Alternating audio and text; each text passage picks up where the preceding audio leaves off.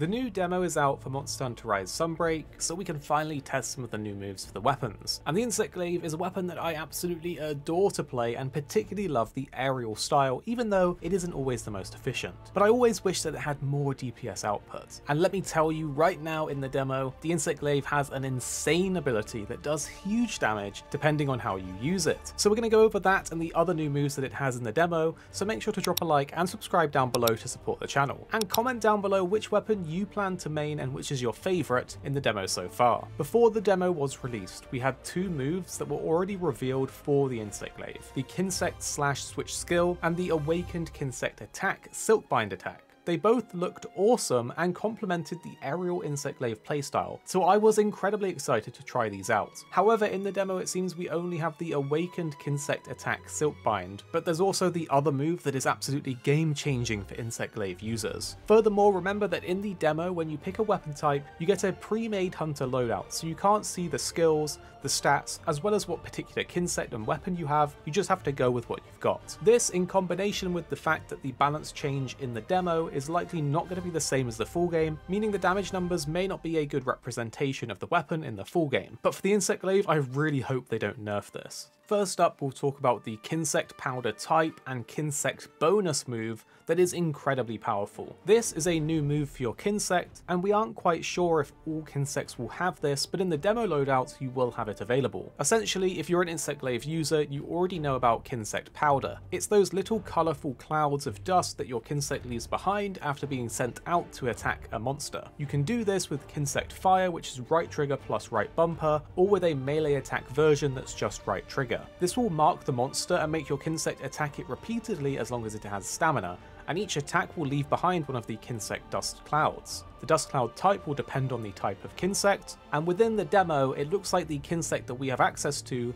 leaves behind green clouds that heal you for a little bit, as well as an orangey coloured cloud which is kind of like a blast cloud. The thing is though, once you have enough of these near the monster, you can then do this new move with right trigger plus X and A together to have your Kinsect whirl around and create a sort of vortex that creates an AoE that pulls in all nearby dust and detonates them all at once. This does really good damage and with the case of Blast Powder it triggers Blast really quite easily. In some instances you're able to get into the high thousands of damage with this. The thing is in multiplayer it does also pull in other people's Kinsect dust. This means in a situation where four people are using Insect Glaive and creating Kinsect dust, it can lead to some huge and spectacular damage. This new move is so fun and so awesome to use. Seriously, if you haven't tried this out, you absolutely need to, and if you can, get some friends to go into a hunt with you and try it with multiple people. If you use things like traps to keep the monster still, you can build up a lot of powder in one area and then detonate it for some crazy damage. Furthermore, it works in combination with the new Silkbind move that you can try out in the demo. This new move is called the Awakened Kinsect Attack, a technique where you hurl a Kinsect to inflict massive damage, all of your extracts are consumed, and the more extract that you had, the more potent this attack will be. After you launch the Kinsect, you'll close in with a wire bug jump to simultaneously absorb extract from your Kinsect, as well as marking the target and then chaining into a vaulting dance. It only costs one wire bug to do this and has a medium recovery time, which is really, really good. Once you have activated this, you essentially throw your Kinsect forward,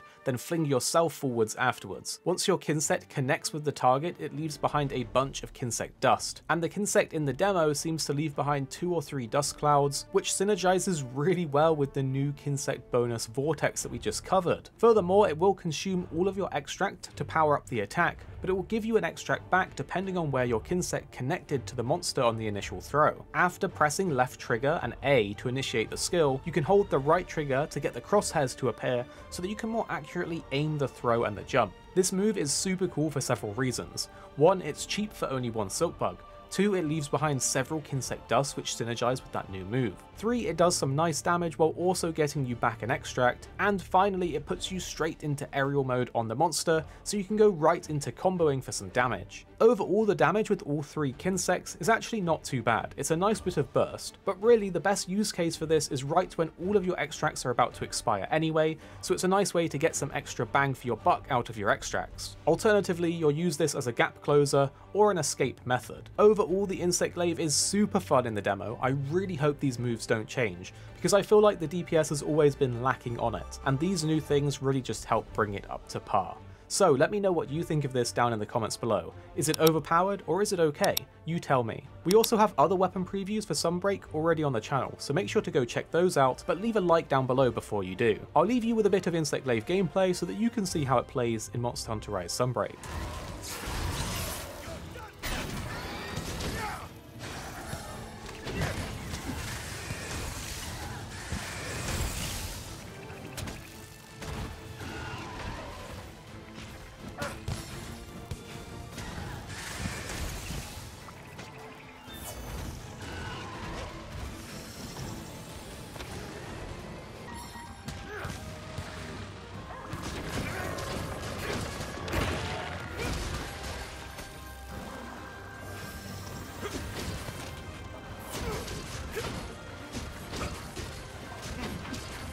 Yeah.